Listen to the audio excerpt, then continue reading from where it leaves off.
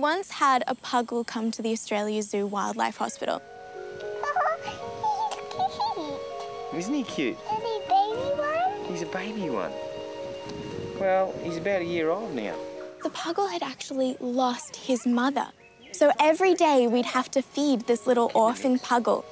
It's got like ground up insects and ants in it.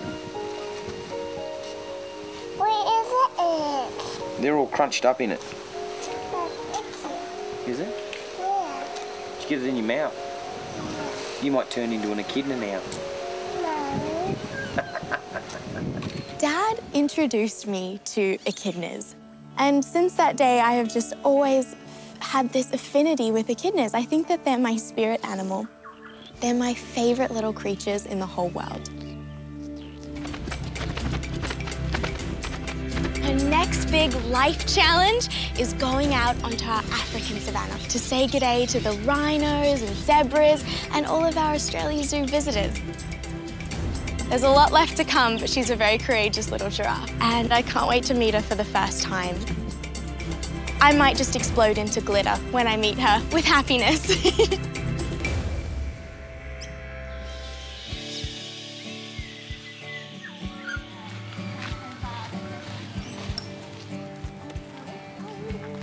I haven't been out here since our beautiful new little giraffe calf was born. I've been giving her and Rosie some space just to adjust, but now I'm so excited to see our beautiful little calf. I'm gonna have to try really hard not to just cuddle her immediately. Oh, I'm gonna want to. okay. I'm a little bit nervous for our new little giraffe calf. She hasn't met many new people, so it's a big step for her to come and meet Bindi today.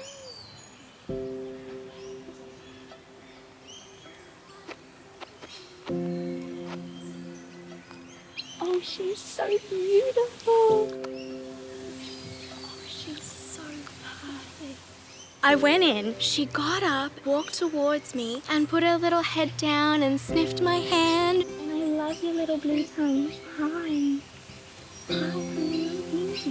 That never happens with a little giraffe. This was unreal. I am just glowing. I'm so happy.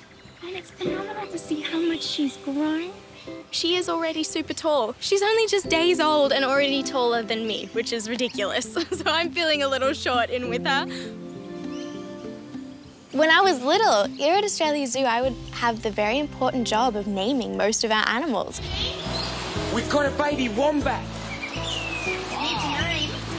And we've got to get a name for it. Look at that, a little baby. Um, how about Burrow? Burrow is so cool. That's it, Burrow it is. That's cool name. I like that. Burrow. You are so clever. I might have burnt my eyes when you put the actual, you know, yeah. Is that okay? Bindi has been helping me now for a long time. This is great information. Thank you very, very much. I've seen her grow from a six-year-old girl to this well-organised, efficient and professional assistant. Well, let's, let's quickly check. Just Gonna check in here for microchip. The first thing we need to do is to determine whether this is a new animal or a recapture, an animal that we've caught previously. I've felt all throughout the tail and there's no code that I can detect. Uh, this is a new animal that we have here. We've got to determine whether it's a boy or a girl. And it's a boy. Yay! So we're gonna take measurements and then if we recapture him, it'll give us really interesting information on how much he's grown over the years. Nine foot one, got it? Then we collect blood and tissue samples. Okay.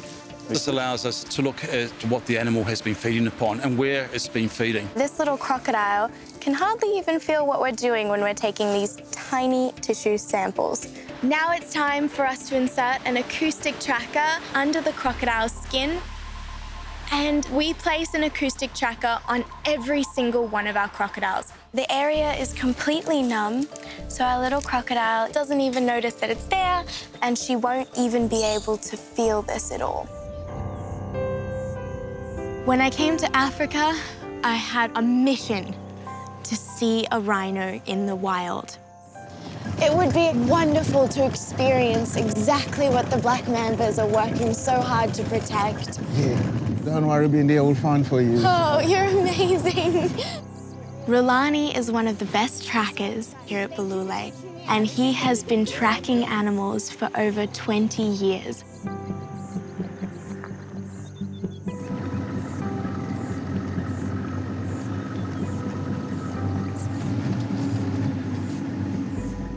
That's a white rhino. no, really? Rhino. There isn't. Oh my god. The white rhino in the water.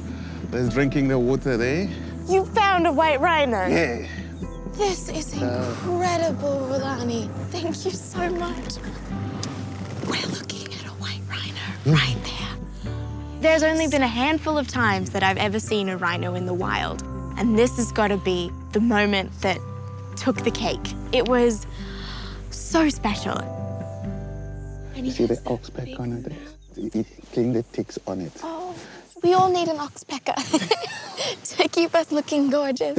see, he's against the trees. He's scratching there. Oh, in the tree. You see, he's scratching the horns. And... Wow. Looking at him, I couldn't imagine anyone coming along and taking his horn.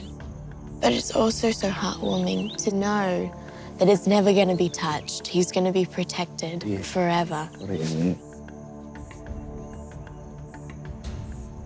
Seeing a rhino from a vehicle is extraordinary.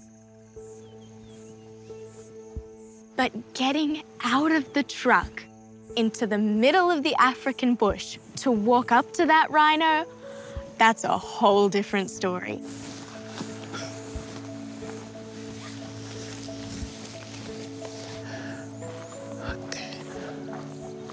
Listen, we can stop here. See, start, started moving. I can see him So right he's there. coming towards us.